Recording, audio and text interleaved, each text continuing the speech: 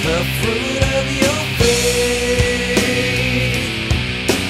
Don't be lost, you'll find sweet.